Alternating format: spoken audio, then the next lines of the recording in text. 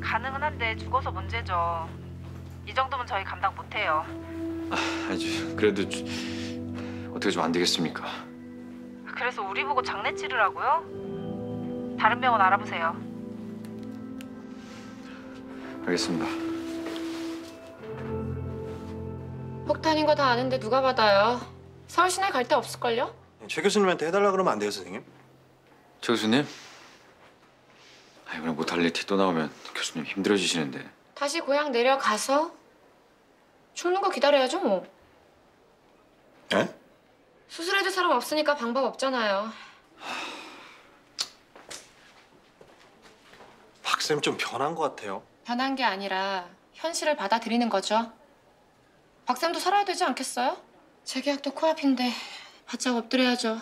아휴, 힘들게 의사 되면 뭐합니까? 다 파리 목숨인데. 선생님도 팔이거든요. 아, 예.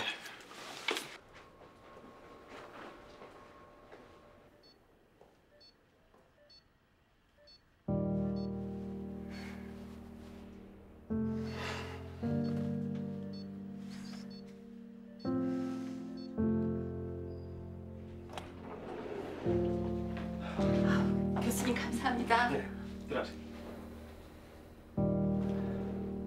교수님 브레인 임팍의 심내막염 환자라고. 환자는 지금 계속 열이 나고 있는데 구혜동 교수님은 좀 빨리 다른 병원으로 보내라고 하십니다. 근데 받아주는 곳이 없겠지.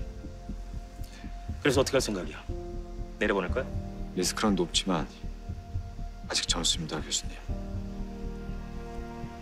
수술하고 싶습니다.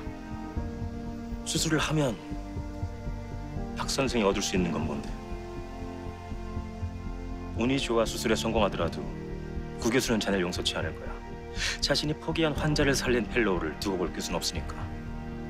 그리고 환자가 사망하면 자네 끝이야. 결국 자네가 얻을 수 있는 건 아무것도 없을 거야. 그날 제 어머니 살려주신 날 얻으신 게 뭡니까? 병원장님이 반대하신 수술이었는데